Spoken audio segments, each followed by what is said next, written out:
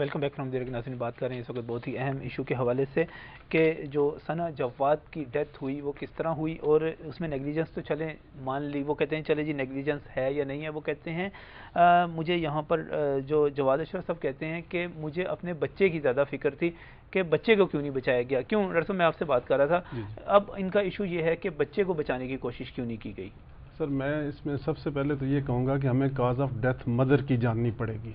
क्योंकि अगर मदर की डेथ वहाँ पे हुई है तो फिर नेक्स्ट क्वेश्चन उठेगा बच्चे का। अगर वो डॉक्टर साहब के बकौल ये है कि उन्होंने ट्रीटमेंट ही कोई नहीं की और उन्होंने रेफ़र कर दिया। अब यहाँ पे पोस्टमार्टम बनता था। ये वकील साहब हैं कानून को बेहतर जानते हैं। काज ऑफ़ डेथ सर्टन ही नहीं हो सकती जब तक कि पोस्टमार्टम ना किया जाए। जब माँ का पोस्टमार्टम होगा अगर उसमें गलती कोई निकलती है तो फिर जाके बच्चे की जो है वो डेथ बनेगी कि आया उसमें डबल जो डेथ है उसकी पेनल्टी इनके ऊपर जाएगी या नहीं जाएगी। अगर वालदा जैसे डॉक्टर साहब कह रहे हैं, वो कह रही हैं कि मैंने 10-15 मिनट में देखा, ये ट्रायल लेके आए, उसमें यूटस रप्चर हो सकती है, कुछ भी हो सकता है, और वो किसी, इनके बगौल किसी क्वैक से लेके आए थे। और क्वैक सिंटोसनान लगाते हैं, जिसकी वजह से यूटस रप्चर कर सकती है। अगर उस हालत में ये आए थे, और यूटस रप्चर का अटॉप्सी के ऊपर पता चल जाएगा कि रप्चर हुई है या नहीं, या कोई और काज ऑफ़ डेथ थी, उनके बकौल ये ट्रीटमेंट नहीं दी गई, इनके बकौल ये है कि ट्रीटमेंट दी गई। और वहाँ पे हमने रखा इतने घंटे रखा। अब, अब ये इख्तलाफ है वो बिल्कुल नदीम साहब तो बिल्कुल तस्लीम करने के लिए तैयार नहीं है कि ये वहाँ पर उनको ज़्यादा इसका सर इसका हल ये है कि मेडिकल अटॉप्सी करवाई जाए। डेथ का भी पता चल जाएगा। डेथ का भी पता चल जाएगा डेथ क्यों हुई और सारी चीज़ें बन जाएँगी। इसके लिए सर अटॉप्सी सर मेरी सिर्फ़ सादा सी गुजारिश ये है कि सरकमस्टांसिस की ग्रिप से जब कोई एविडेंस आउट होने लगता है ना फिर एक्सपर्ट्स की ओपिनियन आती हैं। ये तो सरकमस्टांसिस का तो जवाब दे लें।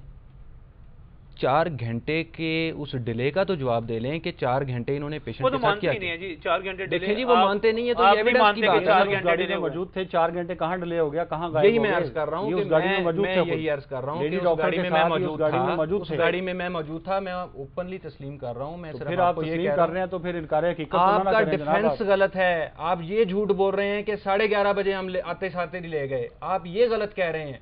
आपने दस बजे से लेकर कितने बजे आए जी आपके पास? उधर कितने बजे आए? साढ़े ग्यारह बजे आए जनाब। साढ़े ग्यारह बजे आए। और पंद्रह से बीस मिनट के अंदर नोट तो सर फिर ये सर्विसेज़ हॉस्पिटल की देखिए स्लिप मौजूद है इसके बारे में सर ये भी इनका ही दिया हुआ डेथ सर्टिफिकेट है। डेथ सर्टिफिकेट पे जी डेथ सर्टिफिकेट का जब कोई डेड बॉडी रिसीव होती है तो हॉस्पिटल उसके ऊपर टाइम ऑफ़ डेथ इसलिए नहीं दे सकता कि उनके अंडर ट्रीटमेंट नहीं होता। रिसीव डेथ जी हाँ जी। और टाइम ऑफ़ डेथ हमारा डिटरमिन होगा हमारी अराइवल स्लिप के साथ। ये इतनी मोटी मोटी बात है। सर इन्होंने कब बनवाई है? कैसे बनवाई है नहीं वो तो इन्होंने ली होगी जिस वक्त जब वहाँ पे गए हैं कोई जब वो इमरजेंसी में लेके गए होंगे पहली पहली चीज़ तो डॉक्टर साहब स्लिपी बनी हो क्या कहते हैं आप बताएँ माहिराना बिल्कुल स्लिपी बनती है जी। मैं मैं सर थोड़ा सा इस केस की हल की तरफ़ जाना चाह रहा हूँ। जी मैं भी इसी तरफ़ जाना चाह रहा हूँ। मैं दो चीज़ें मैं जो शुरू में मैंने की मैं दोनों आपके दोनों के गोश गुजार दोबारा कर देता हूँ कि अगर गफलत होती है तो जो लोग जिनका नुकसान हुआ है वो कहाँ पे जाएँ? उनका क्या मुदावा होगा? और दूसरी बात एडवोकेट साहब आपसे कि डॉक्टर कोई भी मारना नहीं चाहता। ये अगर वो उसको नहीं मारना चाहती थी औरत को आपकी वाइफ को नहीं मारना चाहती थी तो यकीनी तौर पर बच्चे को भी नहीं मारना चाहेंगे। मेरा मेरा इख्तलाफ है सर यहाँ पे।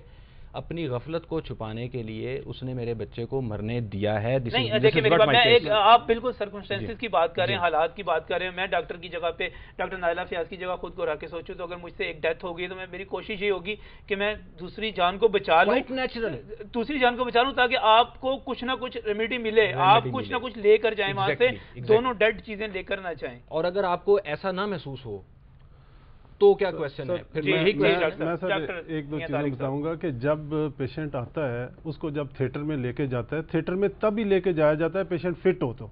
और फिट और फ़ौरन उसका ऑपरेशन हो जाता है। ऑपरेशन के दौरान कॉम्प्लिकेशन होकर डेथ हो सकती है और बच्चा बचाया जा सकता है। ठीक है जी? लेकिन यहाँ पे तो सवाल यह कि ऑपरेशन ही नहीं हुआ। दूसरी जो चीज़ मैं आपको बताना चाहता हूँ ये हेल्थ बिल क्यों आया?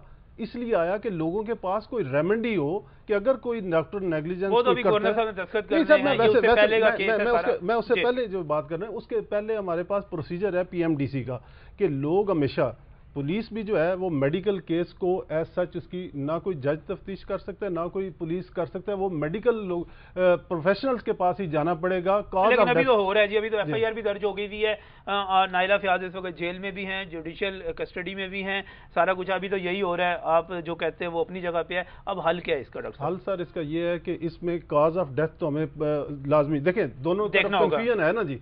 वो कुछ कह रहे हैं वो कुछ कह रहे हैं। हमने देखना है अब ये मैं सर्विसेज़ हॉस्पिटल का केस है डॉक्टर यादुल्ला की बीवी का डॉक्टर साहब ने कुछ स्टेटमेंट दी वहाँ पे ऑटोप्सी के ऊपर क्लियर हो गया क्या मसला हुआ है। सही है ये आपके है। सामने झूठ झूठ और सच सच सामने आ गया। ठीक है, ठीक है? तो इसी तरह इस केस में भी अगर ऑटोप्सी करा ली जाए तो अभी से झूठ और सच का पता चल जाएगा और हम बड़े क्लियरली और फिर अगर अगर डॉक्टर साहब झूठी हैं तो ऑनेस्टली कोई मेडिकल की तंजीम उनका पीछा नहीं करेगी।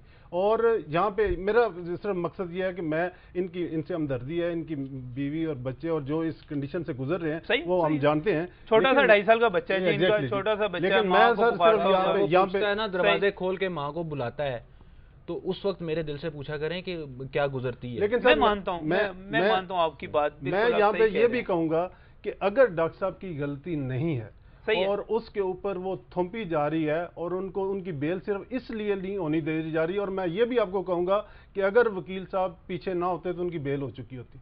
वहाँ पे जो कोर्ट में मैंने ये देखा बात मैं बड़ी बड़ी बड़ी ध्यानदारी ये बताया गया बड़े पूरी कम्युनिटी आई और पूरे सेशन कोर्ट में भी आपके वकुला ने पूरी तरह कब्जा कर लिया सर ये पोर्ट्रे किया जा रहा है। अच्छा। ये पोर्ट्रे किया जा रहा है। इनफैक्ट हुआ ये था कि हमने इस केस को प्रोफेशनली अच्छा ये पाँच एडजमेंट्स के ऊपर आए हैं ये लोग। मुख्तलिफ़ फोरम्स के ऊपर। कोई एक इवेंट मैन हैंडलिंग का ये ये बड़ी क्लियर कट बात अच्छा है। मैंने आपसे भी एक सवाल पूछना है मैंने इनसे पूछा इन्होंने एक हल बताया मैंने आपसे भी हल पूछना है लेकिन मुझे जाना है यहाँ पर एक ब्रेक पर। ब्रेक के बाद आ, मैं जवाद अशर साहब से कहूँगा कि उनकी नज़र में हल क्या है ब्रेक के बाद।